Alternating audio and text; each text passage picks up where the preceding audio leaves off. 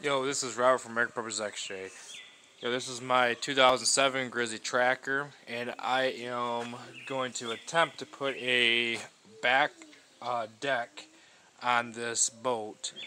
Uh, it is uh, a pain in the butt, to tell you what, just try to stand on this right here uh, with this in the way. Because uh, you always want to step right here you know, at least step up here. So I think it's going to work out pretty good. If I, if I just put a little plywood deck right here, I'm gonna obviously going to paint these. And uh, and my plan is I'm going to have a little uh, swivel hatch here. So I'm either going to have it swivel up or I might just, just have it just sets into place and then I guess remove it. You know, when I pull it up, you know, I can pull it right out of the way to access my battery and my gas tank.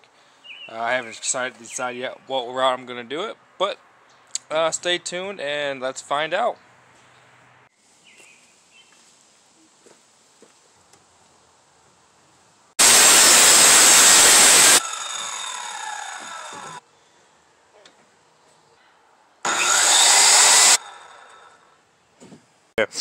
So this is what I got done so far. I got my, uh, when we putting it all framed in, I still got you know, tighten it all up. I just got it sitting here laid out where I want it. I think it's turned out pretty nice. I got my little angles cut on all four corners.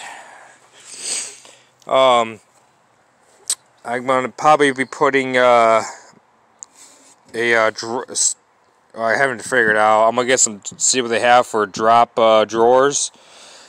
Because uh, I want to take advantage of this. This is back thing. This is basically just a square box in the back corner one on each side. And there's chuck full of foam. So I won't be able to take uh, some take advantage of this room right here. Or I might just leave it because I do want to get eventually get some uh, downriggers. And uh, I want to be able to tie to something, you know, the metal underneath the plywood. So I don't know. Let's uh, I'll go and see what goes on. But this is what our plan is. Uh, I'm gonna put a uh, probably just a board going across this way, up and over, and then either I'm in the first hat section. I was gonna try to have it fold up and fold out, but I might just after I get it all.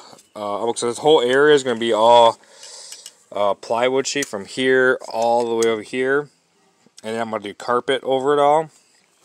Um, so, and this here is just going to be a show, uh, you know, this here is going to be just a snap in, so all all going to look like just one carpet all the way back here. It's, I hope, hopefully this is going to turn out nice.